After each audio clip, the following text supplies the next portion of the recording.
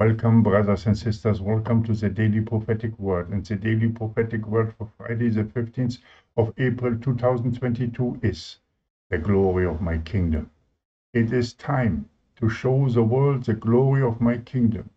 A wicked and evil generation is seeking a sign, but only the sign of Jonah will be given to them. As Jonah was a sign to the Ninevites, so will be the coming Son of Man.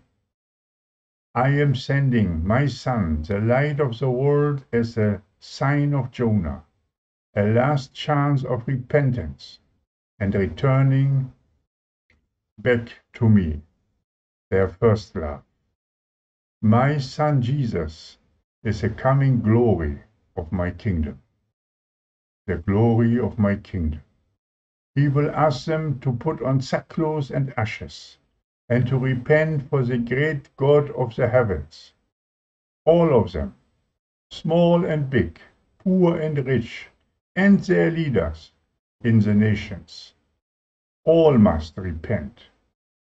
They will be given forty days to return from their wicked and evil ways. Thereafter, my judgment will fall on all those who have not accepted my Son Jesus and have not repented of their sin. The glory of my kingdom.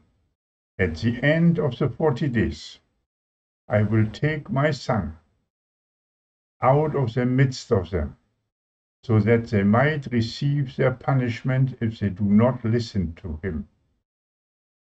He will then join me and the brides in the third heaven.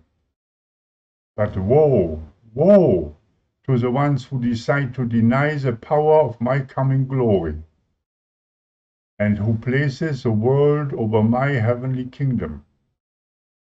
They will enter a time as never seen before, and none of them will escape.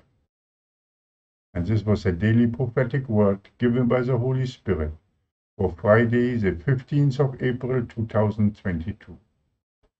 Brothers and sisters, the sign of Jonah is coming to be fulfilled.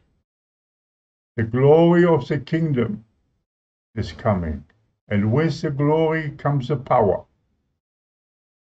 the last chance of repentance for a wicked and evil generation. Brothers and sisters, be blessed in the name of the Father, the Son, and the Holy Spirit. Amen and amen. Maranatha.